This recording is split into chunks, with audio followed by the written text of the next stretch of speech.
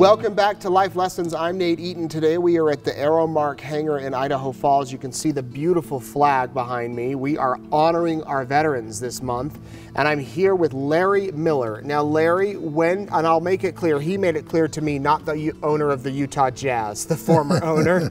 I bet that's happened a time or two in your life. Uh, yes, it has. Yes. Tell me a little bit about your service. When did you serve in the military? I tried to get into the Air Force as a cadet, and I made it through their deal as far as Lowry Air Force Base when I voiced out. So I didn't make it into cadets.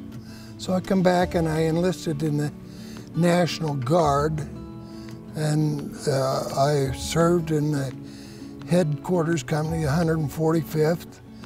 I rose to the rank of uh, E5 and was the communications sergeant for them. But I had another, another of MOSs. My intent was in the Guard, I actually got accepted to OCS uh, and turned it down because I wanted to get out.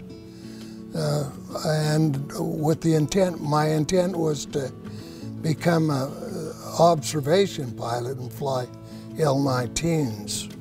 And of course, that's a World War II, Korean War Yeah. kind of airplane. So So did you end up flying planes? I did not. I never did get, by turning down that OCS, I lost that chance. Oh, okay. So what'd you do after that?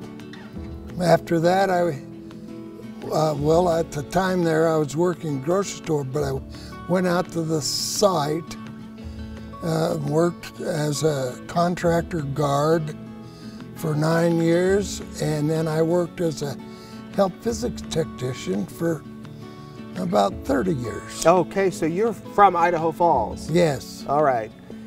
When you walked in here today and saw this beautiful flag behind us, what what are your thoughts? What went through your mind? I, I, I appreciate that flag, and uh, one of the, my best buddies was in the Korean War and later served in Vietnam. Uh, I never was in any foreign wars, so uh, didn't serve overseas. All my time was in the Guard, and I served for four years in the active Guard and another four years in the uh, inactive reserve. So. Well, I don't know if it matters where you served. It just matters that you served. Thank you. And so we thank you and all of your counterparts and all of the veterans watching and those who are still serving today. Uh, we thank you for your service. And Larry Miller, it's been a pleasure chatting with you.